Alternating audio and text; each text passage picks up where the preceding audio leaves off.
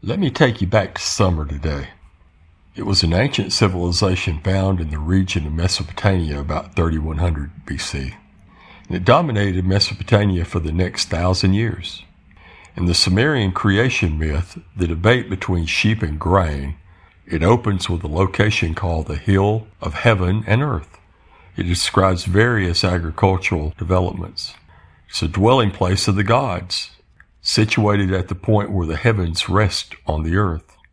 It is there that mankind had their first habitat, and there the Babylonians' version of the Garden Eden should be placed.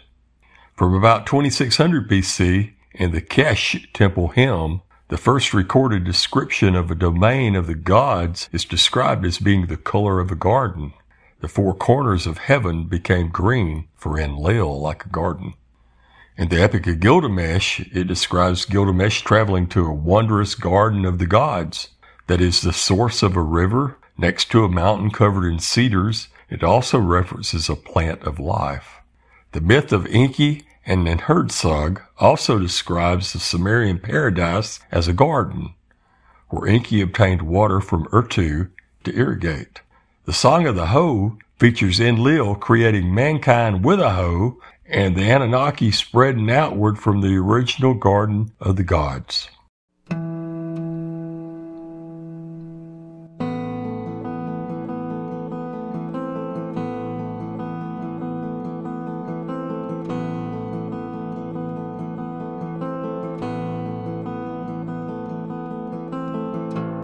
Now, I don't know about y'all, but I came out of Sunday school as a kid thinking the Bible said God made a garden for Adam and Eve.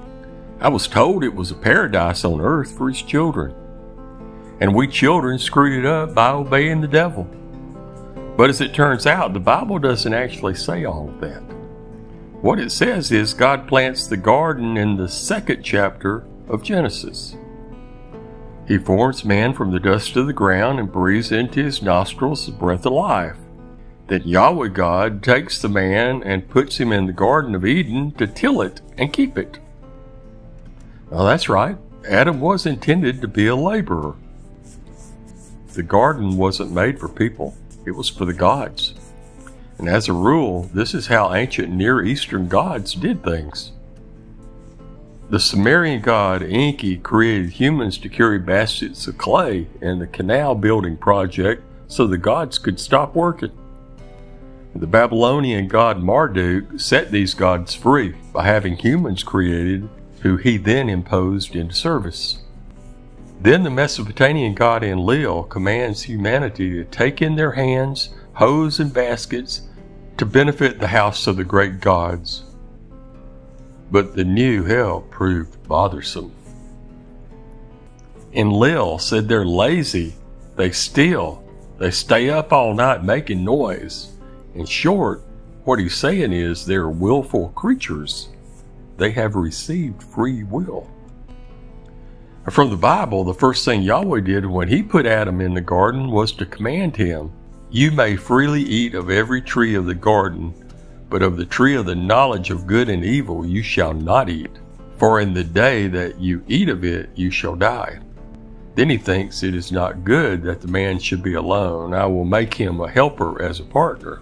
So, after Yahweh creates all the animals, and Adam names them, he then causes Adam to go into a deep sleep. Then he took one of his ribs and he closes its place with flesh.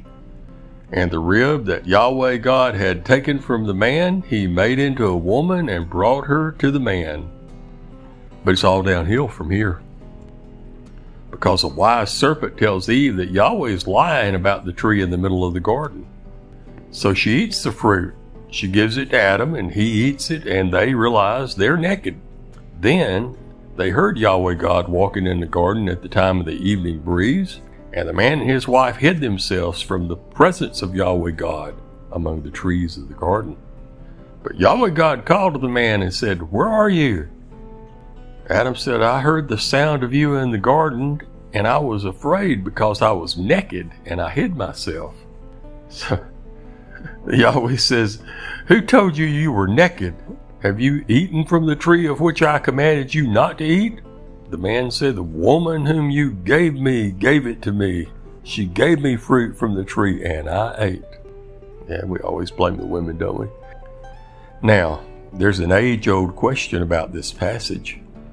Why did God put the tree of life and the tree of knowledge of good and evil in the middle of the garden in the first place? That is, if He didn't want Adam and Eve to eat the fruit.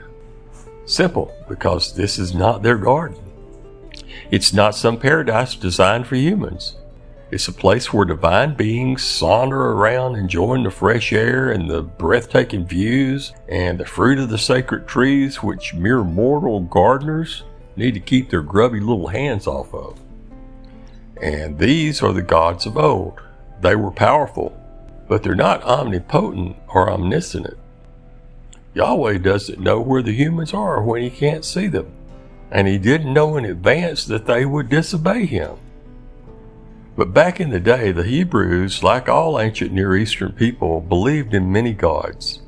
These gods had families and waged wars and played pranks and got drunk and had jobs and formed governments. We still see bits and pieces of the old theology in the earliest writings compiled in the Hebrew Bible. This includes Yahweh's explanation to the divine council of why he's decided the humans that he brought to Eden had to be kicked out. He says, See, the man has become like one of us, knowing good and evil, and now he might reach out his hand and take also from the tree of life and eat and live forever. So Yahweh sends the two humans out the east gate of the garden and sets cherub and flaming swords there as guards against their return. So the gods, for their part, stayed put in their garden. Now, the concept of the garden of the gods or a divine paradise may have originated in Sumer. The concept of this home of the immortals was later handed down to the Babylonians who conquered Sumer. Then the Babylonians conquered Judah and brought the elite to Babylon.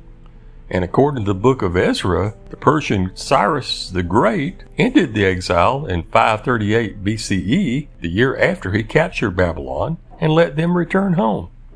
And this is when they adopted the story of the Garden of Gods and put it into their foundational myth for Judaism.